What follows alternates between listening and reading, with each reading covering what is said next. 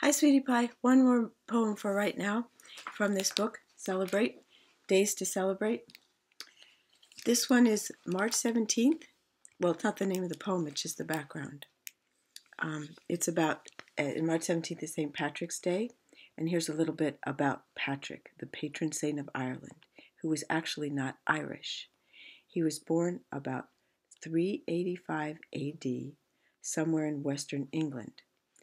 St. Patrick's Day commemorates his death on March 17th. The year is uncertain. Estimates range from 461 to 464. The first St. Patrick's Day celebration was held in the United States in Boston. Ouch. Munchie, stop. Uh, was held in Boston, Massachusetts in 1737. For centuries, the shamrock, the small green three leaved plant resembling clover, has been an emblem of Ireland. Folklore tells us that when St. Patrick drove the snakes out of Ireland, he stood in a shamrock patch. Part of an old Irish song gives St. Patrick credit for bringing the plant to Ireland. I don't know the uh, Latin name for the shamrock, but there's a similar little plant here that um, is small and has lobed leaves like that. I don't know if it's three or four, but it's called oxalis. And I was playing Scrabble once, and you get a lot of extra points if you use hard letters like an X. And I think I was on a triple word score for that one. And I was playing your Grandpa Tom, and he thought I was making up that word, but I know my plants. So I said, look it up. And sure enough, there it was in the dictionary. He usually beat me in Scrabble, I have to admit. I mean, I'm quite good at the game, but he still beat me nearly every time, but not that time, thanks to Oxalis. But one day we'll look up and see what the Latin name for shamrock is and if it's in the same family. Here's the poem There's a dear little plant that grows in our isle. 'Twas St. Patrick himself, sure that said it. And the sun on his labor with pleasure did smile, and with dew from his eyes, up from his eye, oft times wet it. It grows through the bog, through the brake, through the mireland, and he called it the dear little shamrock of Ireland. I'll read that again because I stumbled a bit, and after this, I'm going to look up what brake means, B R A K E, because I don't know that word in this context.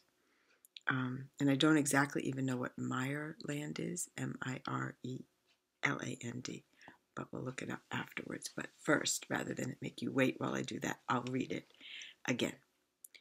There's a dear little plant that grows in our isle, 'twas St. Patrick himself, sure that said it. And the sun on his labor with pleasure did smile, and with dew from his eye oft times wet it. It grows through the bog, through the brake, through the mireland, and he called it the dear little shamrock of Ireland. And here is a picture that accompanies that poem in this book. And I'm going to read a few short poems. Um, March 17th is St. Patrick's Day. It's also the day around here that we can plant potatoes and peas which are often associated with Ireland. Um, and those are cool weather plants. And if you get the ground ready and it's not too wet, you can plant them that early. In fact, last year we had those warm days around March 1st, and I planted potatoes and peas March 1st. And I planted a lot of greens, and they were the best, most beautiful cabbage and kale and collards and arugula and greens I ever grew. I have never grown them that well. So I'm going to get my ground ready so that when it warms up in March, they'll go in the ground.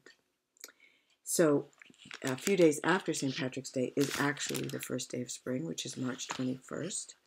And here's a short little poem about spring, but here's a cute little drawing.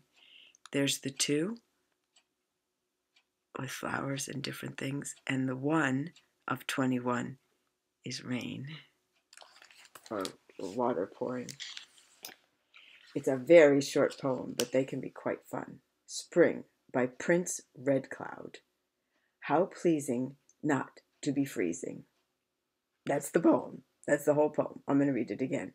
How pleasing not to be freezing. Indeed.